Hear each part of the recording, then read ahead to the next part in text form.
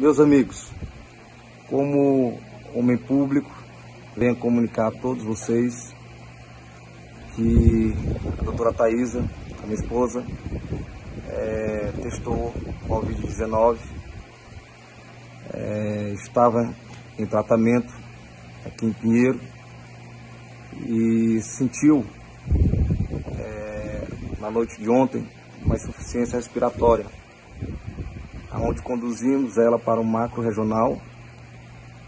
É, e lá, infelizmente, é, os leitos de UTI estavam lotados. É, levamos ela para São Luís, conseguimos um leito no Hospital São Domingos, onde ela fez seus exames e também deu um quadro de infecção, pneumonia.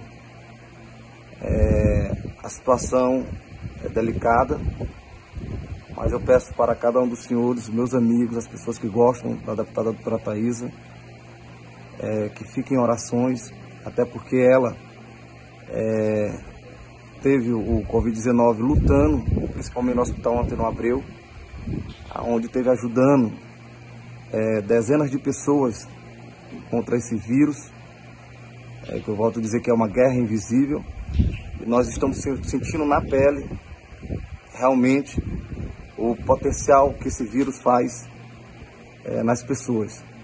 Mas aos meus amigos, volto a dizer, eu peço orações.